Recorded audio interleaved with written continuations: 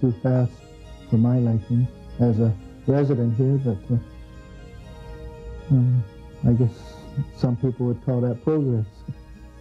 Just the way this has gone, saying that anybody can buy a license, and this is what's happened. You've got doctors, lawyers, you've got retired fishermen that have just made so much money off their licenses that they just sit back and lease licenses. They're armchair fishermen.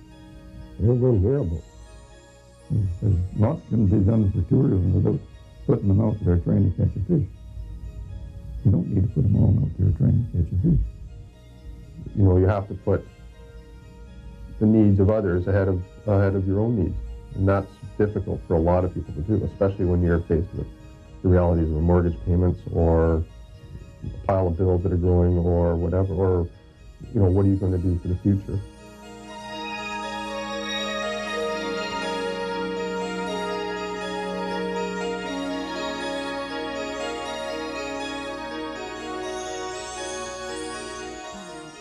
Ucluelet's always had a well diversified economy. We, uh, we've had the uh, almost 25% logging, 25% fishing, 25% tourism or general general services, and 25% government. Uh, and that's what that's what we're working to keep as a community, that diversity and that overall feeling of it. Well, in the community of Ucluelet, right beside Clayoquot Sound, there's been uh, it's been a major uh, hotbed of um, of well, environmental, industrial kind of um, battleground. I guess it's been a battleground uh, between um, well between large groups and large industry. Um, and the communities have been the sufferers or the victims of that battle, uh, in my estimation. Now we're we're seeing our our our uh, former employment base, which was a lot of forestry, gone down now to a very small percentage of what it once was. And, and there's been no value added in our communities. It's just been, we've been basically the harvesters, whether in forest or fishing. And, and most of the resources have gone away to be either used by people other, in other places or to be value added in other places. So we're sitting here, my feeling is on the brink of being totally disenfranchised, or, or our, I'm seeing our community right at the brink of extinction, it, to be pretty blunt about it. Well, there was just lots more of everything, like fish. There was a terrific amount of, of, of fish back in those days. Say people wouldn't even believe if I told you how much there is. If I could tell you, you just wouldn't believe it at all, you know. Then through the heavier fishing and whatnot, it started to go downhill and downhill. Barkley Sound when I was young, there used to be 16 guardians in Barkley Sound in the fall looking after each little area, you know. And then they took the guardians off one by one, they took them off. And probably 30 years ago, they were down to one out of Port Alberni with a boat.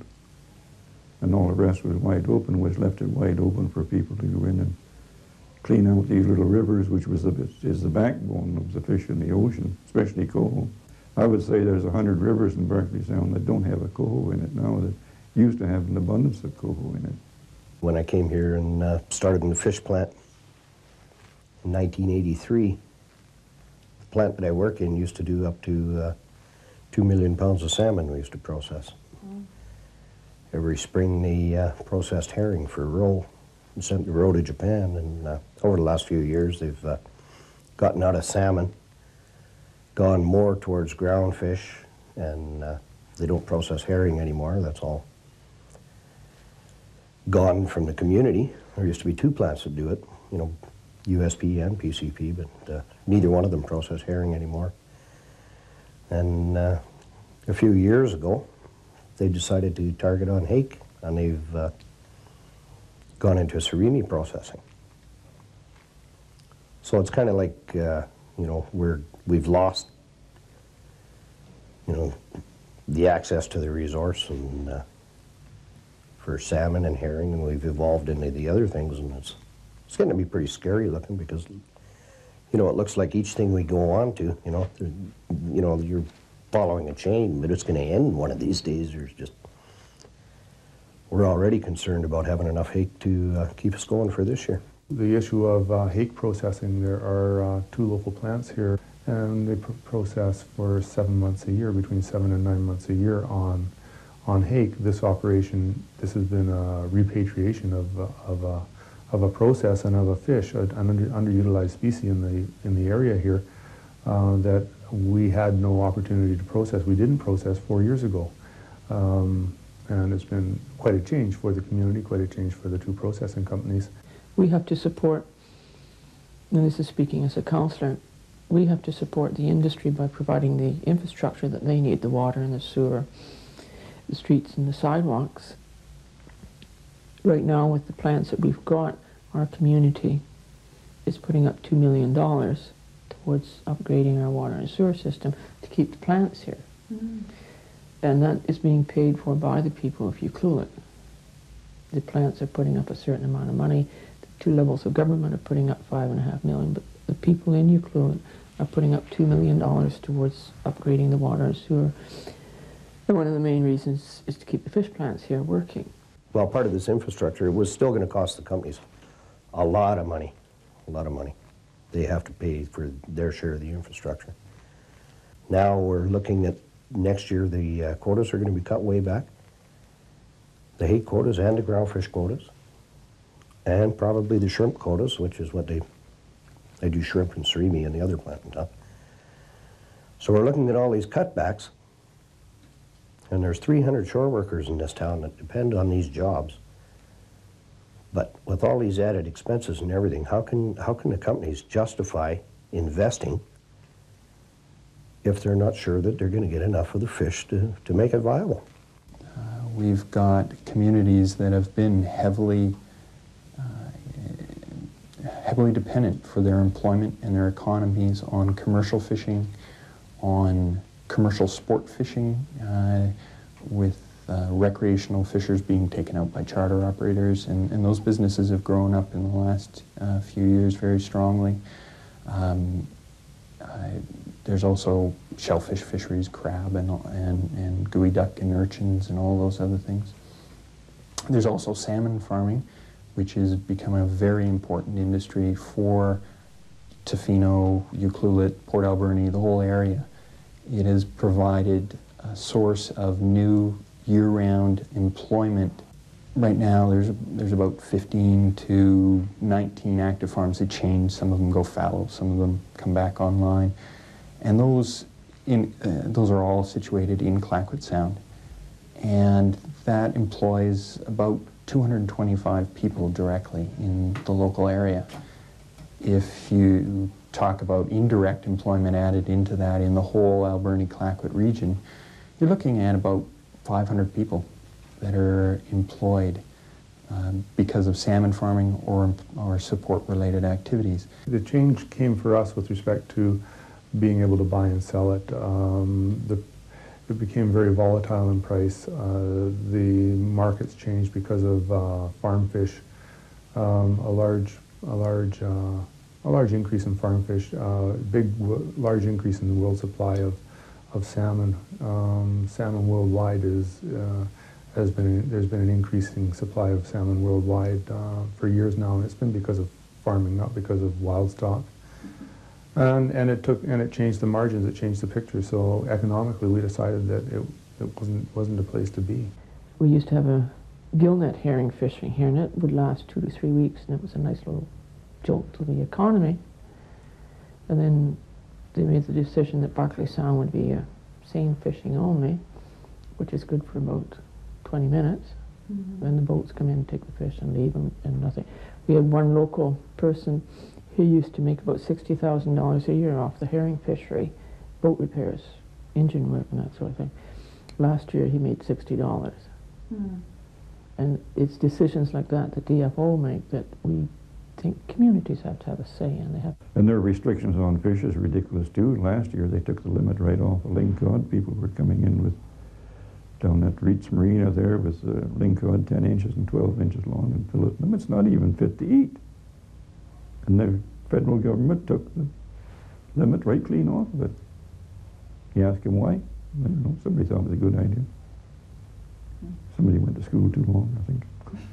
Weren't out in the field to see what's going on and stuff like that, you know. And the same with the spring salmon that they take there. It's supposed to be a a great game fish and everything, and they're out there catching little fish 12 inches long, which is ridiculous. It should be at least, I would say, 28 inches long, and and fished in the method with barbless hooks and whatnot. So you've got a real, real game fish.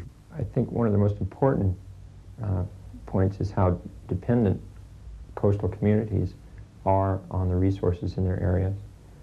Uh, and you know that comes out at a, at a meeting such as we're at today with this Coastal Communities Conference, where you just see you know, both, both native and non-native how important uh, and dependent remote, uh, remote communities like this are on their local resources.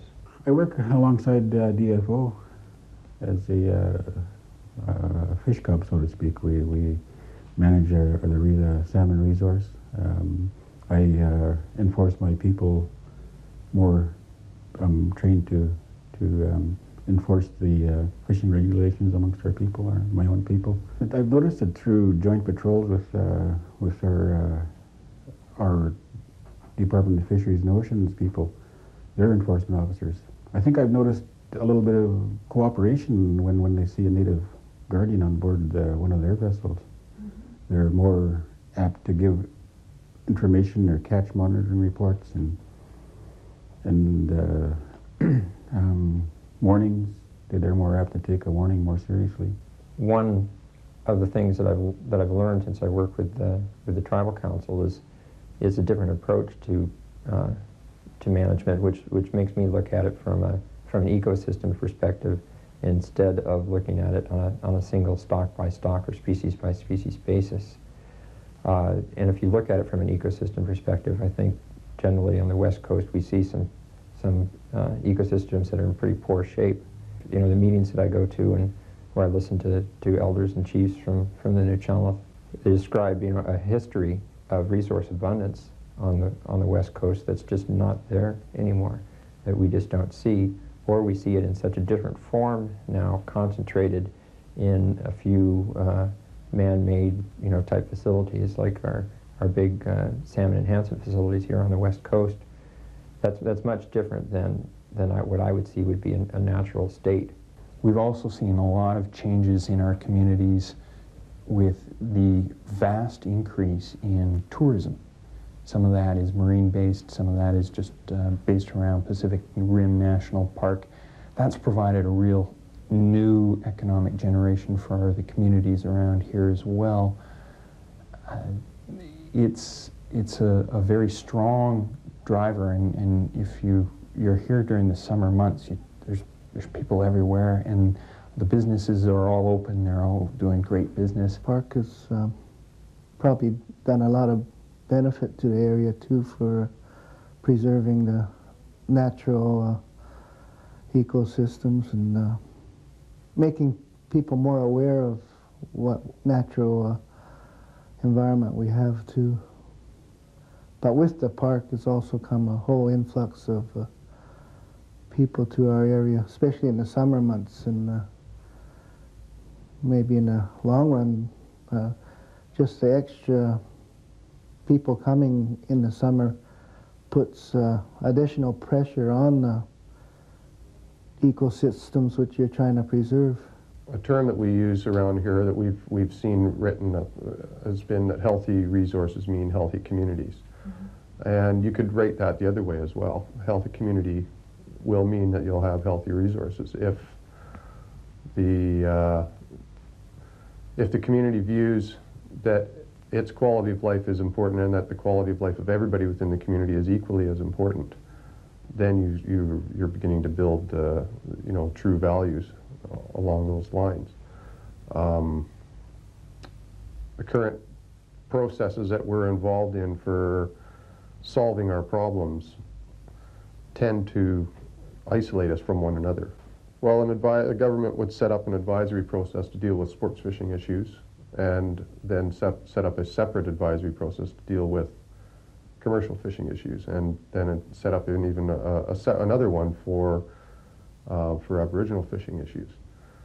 Um, that process of carving us off into into what would be termed a, a sector or a group um, tends to isolate us from one another within the community.